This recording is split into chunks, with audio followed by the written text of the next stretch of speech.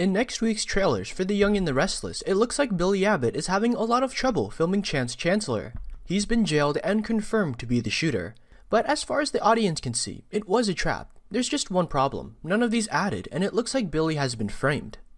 Billy has a man in his ring, Lily Winters, and some believe that Billy is innocent, but it needs proof. Amanda is a good lawyer, and she's doing it well. In a preview clip for next week, we see her talking to Victor Newman, and it looks like she believes he's behind all of this. Did Victor trap Billy?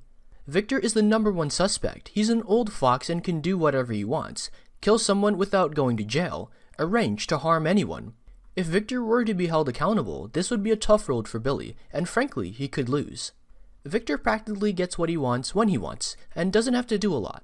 But I still can't understand why did Victor choose Billy? He probably knew many people across the courts, and it would be difficult for Billy to defend his case, even if they have camera evidence of him at Chancellor Communications. This will be an exciting week.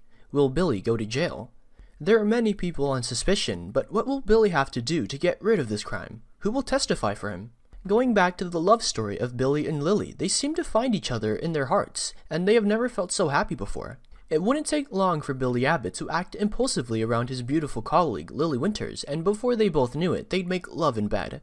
Here's what you need to know. Sally was a new woman, and she kept flirting with Kyle, Theo, and now Billy, but no one seemed to care.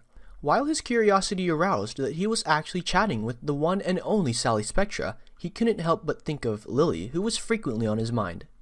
Billy and Lily have made love and spent a happy night together. Lily wanted Billy to promise to be serious in love and not to joke around, and Billy agreed. Was Billy really serious this time? When Lily decided to call it a night, Billy suggested she stay for another drink because he didn't feel like being alone. This is when Lily proposed a win-win situation. There's some information that there will be a beautiful wedding later this year.